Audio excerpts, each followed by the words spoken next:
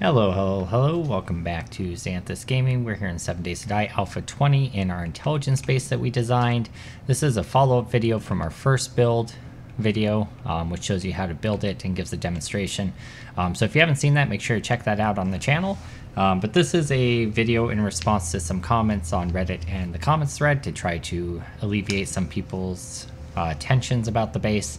Um, someone noticed that there were no demos in the base demo, so um, I'm going to show you what this base does with demos. We're going to spawn in a number of them. Uh, we're actually going to spawn in more than we would normally have during a Horde Night. Um, and then we're also going to do a Horde Night demonstration. Uh, I went ahead and just leveled this character all the way up to max level. We're on day 7,777. We have quite a few hours played on this test. Um, lots of enemies killed. Game stage 720. It really does not get much higher than that. And again, we're at max zombie count and insane difficulty. Um, so the few people who are like, oh, those zombie hordes weren't that big. Well, first of all, it was still on 64 zombies insane difficulty, which is as hard as you can get. Um, but the level, character level was not that high, so there weren't irradiated spawning, so it's a fair point. Um, but we're going to go ahead and just give a demonstration of how it goes. Um, so we're going to spawn in demos.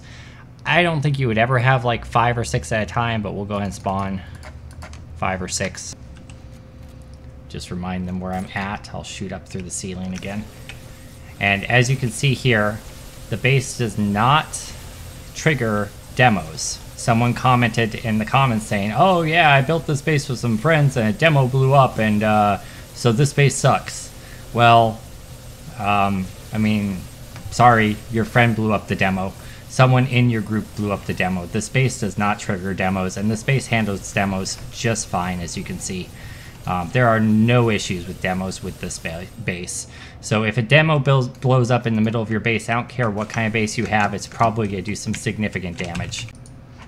okay, welcome back. I tried to do a Horde demo, and for whatever reason, the time bugged out and the minutes went negative. I don't, I don't really know why. So I guess having 777,000 as the game day was not a great idea. So we'll just do a standard 7,777 game day. This is as hard as it can get. So for the people who are like, oh, that wasn't that big of a mob, this is as hard as it can get for single player. So enjoy the demo. I'm going to turn my mic off. Um, hopefully you guys enjoy and leave a comment down below.